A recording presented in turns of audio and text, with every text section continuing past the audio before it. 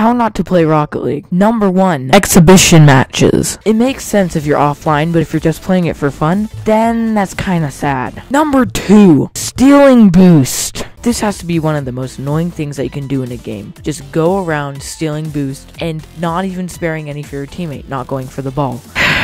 If you do this, just stop. Just stop. Number three, random presets. Hey, that actually looks kind of. Oh, and he's doing that. They're already awful as they are, but when you see them in a game, you just want to throw up. Number four, whatever this is. I mean, what is this? What like what is the purpose of just th- like?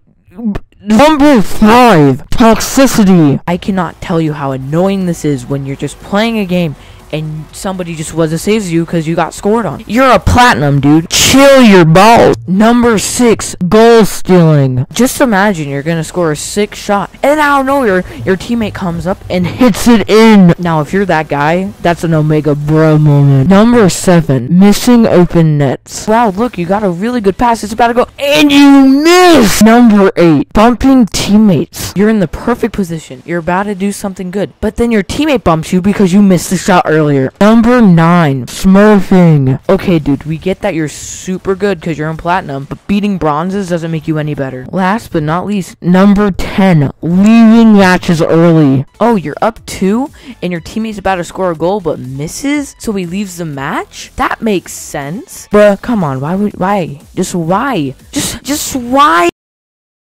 Hi guys, uh, if you guys are watching this on my channel, uh, hi.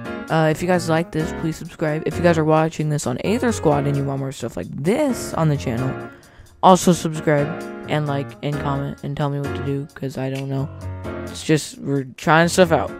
Uh, but if you guys enjoyed this at all, please like, comment, subscribe, and I will upload more stuff like this. And I hope you guys have a good day. I'll see you guys later.